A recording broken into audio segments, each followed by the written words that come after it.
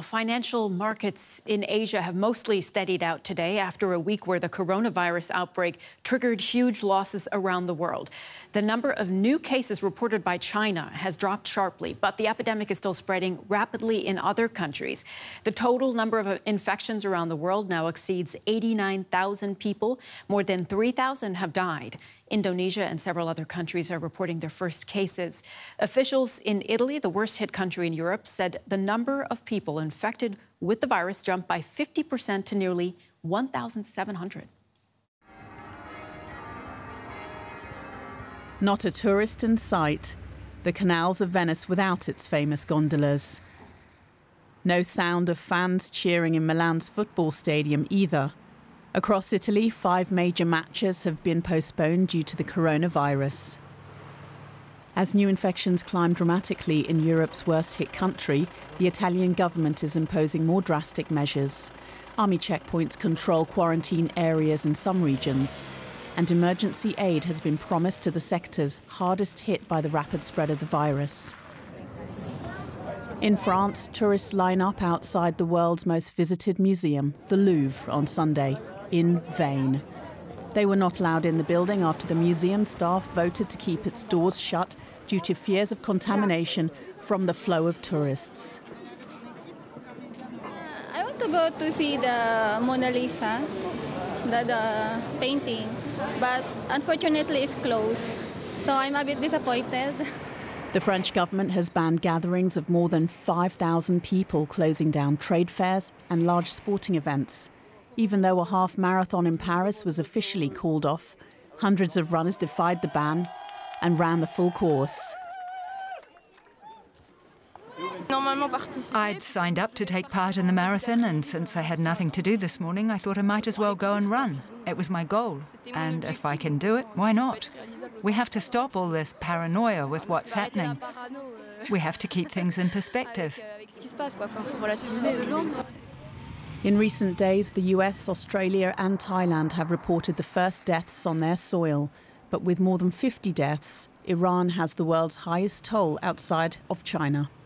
The epidemic is impacting businesses and daily life and shaking the country's already struggling economy. People are panicked a little, and the stress has led to a drop in sales. People have also become more hygiene obsessed and buy less food from bakeries restaurants and caterers. As markets around the globe take a hit, some countries are more vulnerable than others. Let's talk about the economic consequences now with Gerhard Elfers from DW Business. Hi, Gerhard. Nice for me. Last week was pretty bad for the global markets. How, what's the picture like today? Well, it's it's a bit better today. Uh, Asian markets uh, have uh, recovered. Um, also, European markets have uh, opened slightly up. The FTSE is up uh, two percent. Uh, so, but it was a slaughter last week. Five trillion US dollars have been wiped off uh, shares. That's 5,000 billion US dollars. It's, it's quite unbelievable.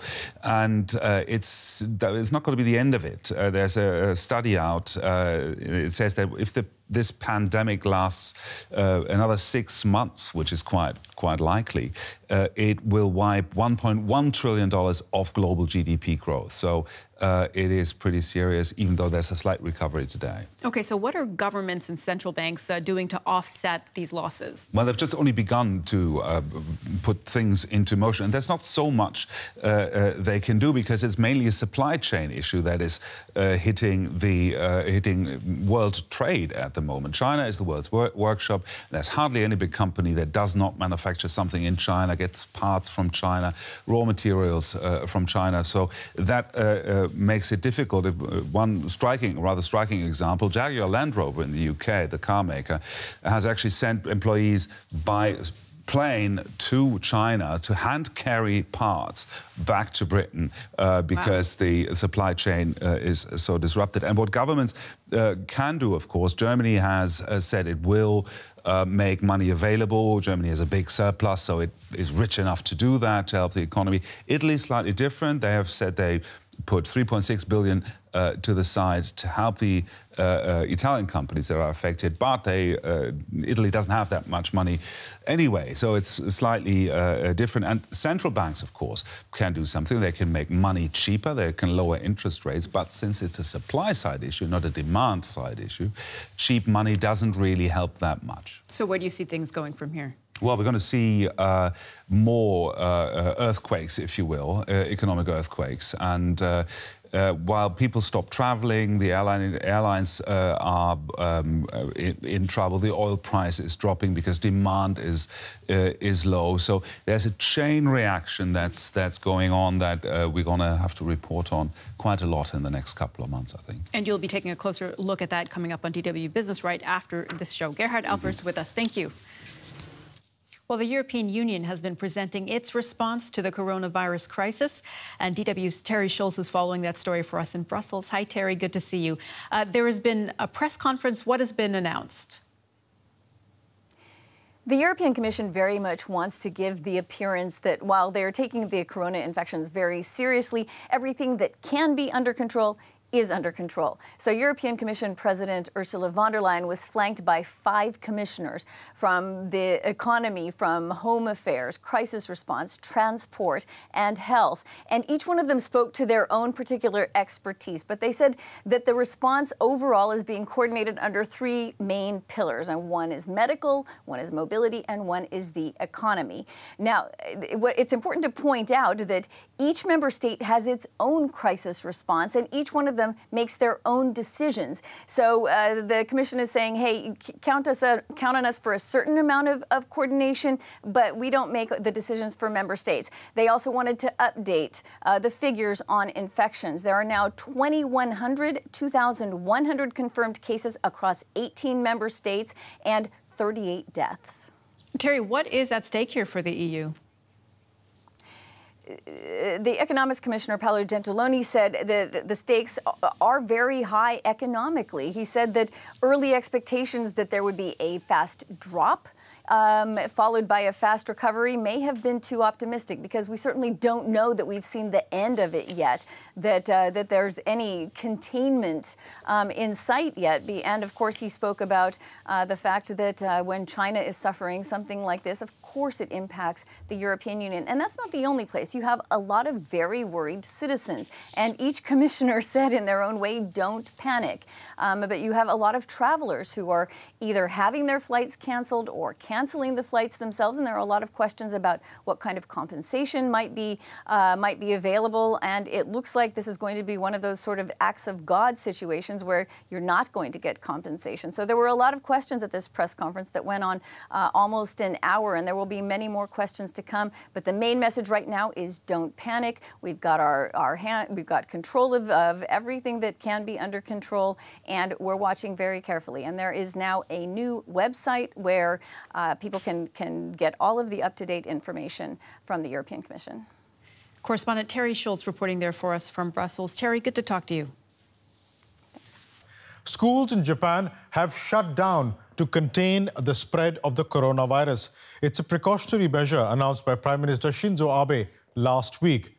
The decision affects some 12.8 million students across nearly 35,000 schools around the country. The schools are meant to remain shut until spring holidays that begin in late March. Japan has so far reported a little more than 200 cases of COVID 19, the disease caused by the new strain of coronavirus. School's out for millions of Japanese children. But while the youngsters get an extended holiday, many parents are faced with a logistical nightmare. They need to make alternative childcare arrangements while the schools are shut. I think companies need to be flexible in dealing with the situation.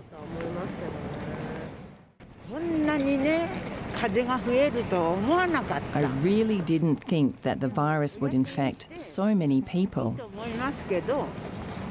It's good to close the schools, but a lot of parents work today, so they have to take some time off. I feel sorry for them.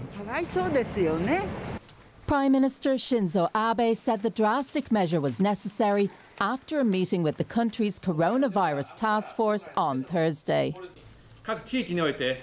There are many efforts being made to stop the spread of infection among children in various regions, and the next one or two weeks are crucial. The announcement took local government and health officials by surprise. They've been scrambling to come up with guidelines to implement the closures. And some politicians have warned that the risks posed by shutting schools also need to be considered. The mayor of Chiba, Toshihito Kumagai, tweeted, What about parents in occupations that support society? How will they manage? Society could collapse. But with opinion polls showing public dissatisfaction with Abe's handling of the coronavirus outbreak, it appears the Prime Minister is betting on school closures as an effective strategy to bring new infections under control. For more, joining me from Tokyo is journalist Michael Penn. Michael, thanks for being with us. The first day of the school shutdown, how has it been?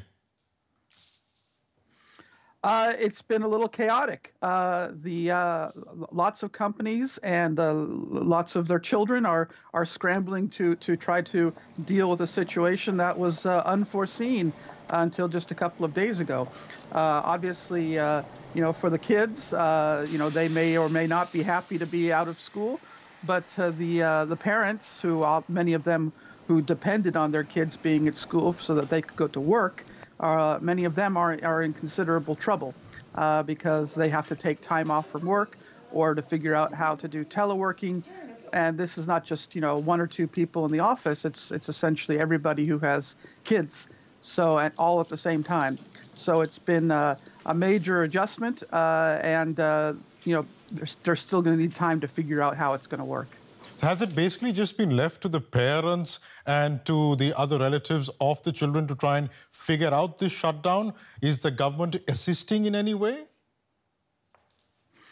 Uh, essentially, uh, Prime Minister Abe just requested that all of the schools close down, and uh, not every school, not every prefecture uh, actually obeyed his request. Uh, there is, for example, Shimane Prefecture in western Japan, which uh, completely ignored the prime minister's uh, uh, request. But and there are other schools as well.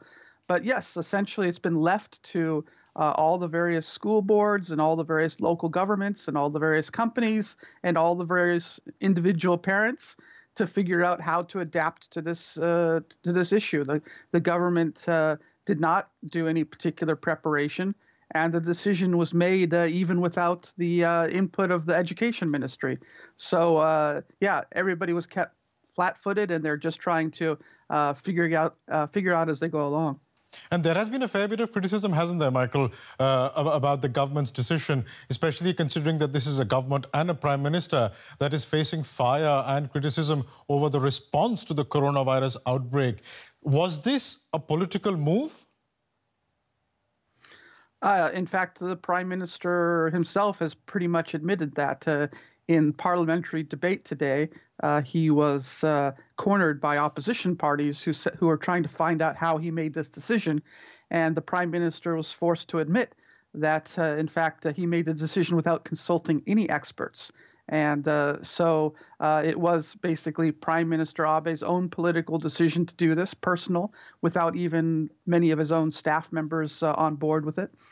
And so you know, the, the government was being criticized for being too lax in its handling of, uh, for example, the uh, the uh, Diamond Princess issue and other uh, parts of the infection. And now they kind of swung from going from what might have been too lax to to possibly too harsh. And uh, the government is in particular crisis right now, kind of political crisis, which the Abe right. administration has not seen in its seven years in power. Michael Penn joining us from Tokyo. Thank you very much for that. Thank you.